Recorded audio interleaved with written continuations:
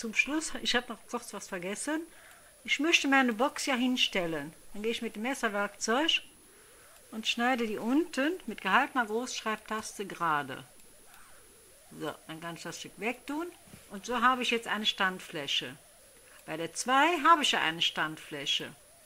Bei der 7 ist halt wieder eine andere Sache. Das muss man dann schauen, was man da macht. Und das hier wäre jetzt dann auch wieder genau das gleiche. Auch wieder hier die Pfad aufheben, verknüpfen, Pfad lösen. So, das wäre dann also jede Linie Pfad aufheben, Pfad aufheben und Pfad aufheben und verknüpfen Pfad lösen. So.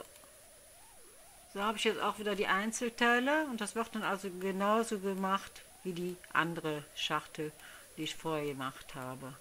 Also auch alles wieder so machen, wie ich das hier gemacht habe. Und nicht vergessen, das Oberteil wieder senkrecht wenden, damit das dann wieder richtig passt. Ich hoffe, ich konnte euch helfen. Bye bye. Ich hatte zu, äh, eben gesagt, dass hier die zwei Teile, die später drauf geklebt werden, auch seit andersrum äh, gedreht werden müsste, genau wie so wie die zwei.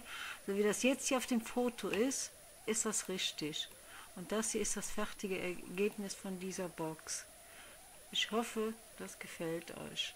Das hier ist jetzt die, das originale Schnittmuster von dieser Box, wie ich das jetzt erklärt habe. Hier zum Schluss zeige ich euch noch auch, welche Motive ich nach dieser Methode gemacht habe.